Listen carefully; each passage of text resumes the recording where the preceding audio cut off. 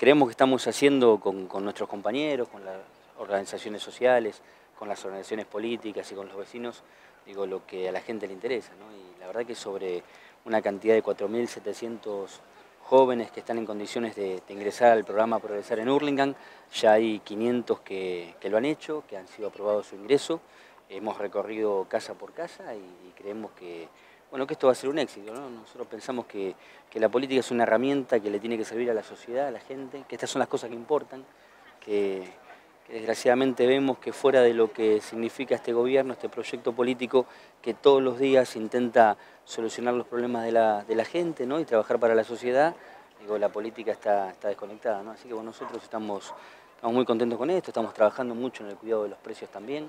Nosotros también pensamos que es muy importante y es nuestra tarea defender el bolsillo de los argentinos, ¿no? porque hace 10 años que, claramente lo que hacemos es defender el bolsillo de los argentinos, generar trabajo, cuidar el trabajo, mejorar la situación de los jubilados, eh, cuidar a, las mamás, eh, la asignación universal por hijo, la asignación por em, embarazo, eh, por embarazo. Así que, bueno, trabajando mucho. El Progresar es, es un éxito en Hurlingham y todos los días bueno, nos va a tener en cada una de las puertas de los chicos para que se inscriban.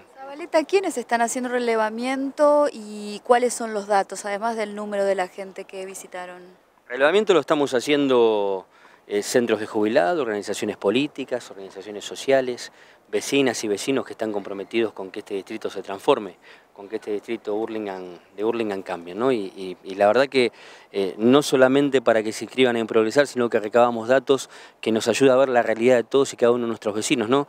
Así que bueno, que a partir también de las políticas que nos brinda la ayuda social directa que tiene el Ministerio de Desarrollo Social de la ministra Kirchner, que tiene a cargo la ministra Alicia Kirchner, digo, nos da la posibilidad de poder resolver innumerable cantidad de temas. ¿no? Así que bueno, es lo que decíamos recién, ¿no?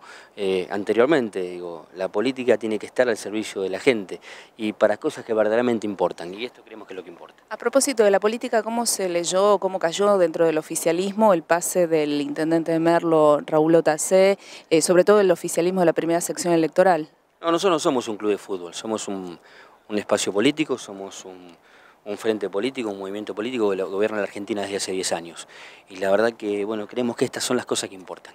Que lo demás no tiene nada que ver con la agenda cotidiana de nuestras vecinas y nuestros vecinos, ¿no? La presidenta todos los días nos pide que nosotros resolvamos todos y cada uno de sus problemas y me parece que estas son las cosas que, importan. Que importan. Lo demás tiene que ver con, lo chiquitito, con lo chiquitito que, bueno, que nos acostumbran aquellos nos quieren acostumbrar a aquellos que tienen, que tienen poco que ver con lo que, con lo que la gente necesita. Ponte, perdón, a quienes critican precisamente esta ayuda para que los chicos entre 18 y 24 terminen la primaria y la secundaria, que también critican el plan de precios cuidados. Que quieren una Argentina para, para poquitos millones de habitantes. Nosotros todos los días trabajamos, como dice la presidenta, para los 40 millones.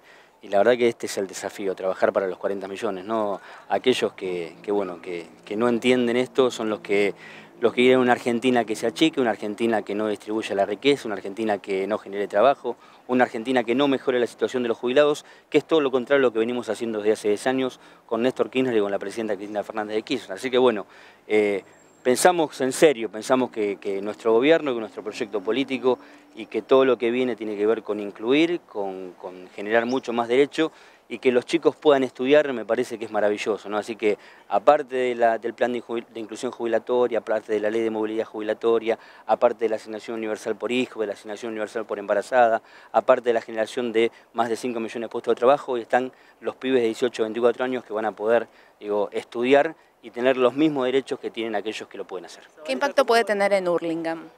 Un impacto increíble, tenemos cuatro, fuimos a buscar 4.700 chicos.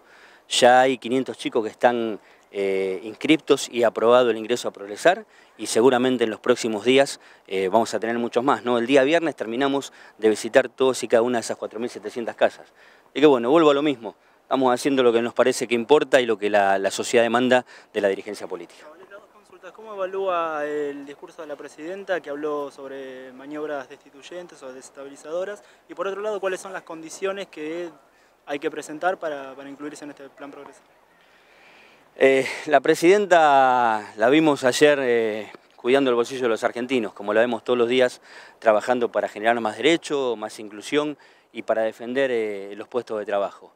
nosotros tenemos una presidenta que, que cuando plantea que quieren volar a la Argentina, claramente bueno, se dirige hacia aquellos sectores que, creen que, en vez de, agrandar, que en vez de generar derechos hay que achicar. Y, frente a, esto que me preguntabas, que tenía que ver con, con, con, quienes, chicos de 18 a 24 años, que, cobren menos del, salario mínimo, vital y móvil, que tengan eh, empleo negro, que sus papás no tengan trabajo, eh, así que estamos re contentos, estamos muy felices de que en Urlingan y, en otros distritos también, pero fundamentalmente en Urlingan, esto tenga mucho éxito. ¿Se canaliza a través de una cuenta eh, bancaria, aunque sean menores, o cómo es el pago del beneficio? Se canaliza a través de, una cuenta bancaria, sí, como se hace con todos los planes, con todos los planes que tiene, que tiene este gobierno, ¿no? Eh, aquí no hay clientelismo, aquí no va a haber nadie que venga y le diga que para tener un derecho tiene que bueno, tiene que tener una dádiva. Así que estas son las cosas que también han cambiado en la Argentina.